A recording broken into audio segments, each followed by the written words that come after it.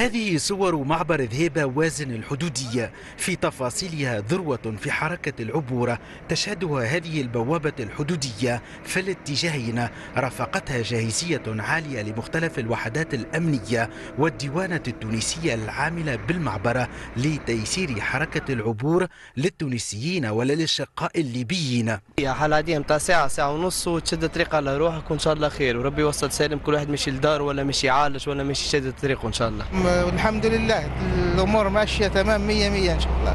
بين الطرفين الجانب التونسي ما قصروش والله. ما في ثمرة تعطيل هذا مش الحمد لله رغم الزحمة اللي رغم الزحمه وكل شيء متعاونين معنا العوان امن وكله الحمد لله المعبر آه، استحام مجرات بسيطة وماشية الحمد لله. رغم الضغط الكبير. لا كبير لأن راس جدير مسكرة الحمد لله ماشية الأمور.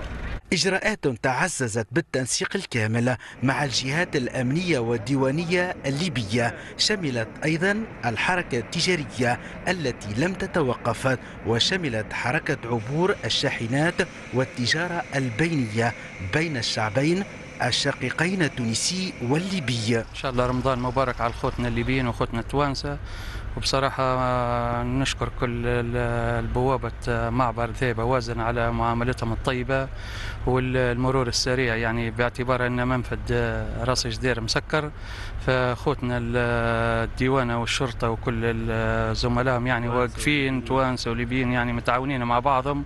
وفتحوا لنا ممرات تانية يعني ما كانش فيه إن ممرات هذه قبل إني سبقا وإني جيت من معبر وازن إن زادوا إضافة في ال- الممرات. ذروة حركة العبور في هذه الأيام بمعبر ذهيبة وزن الحدودية تعجل برأي المسافرين والمواطنين بإنهاء أشغال المعبر الجديد في أقرب الأجال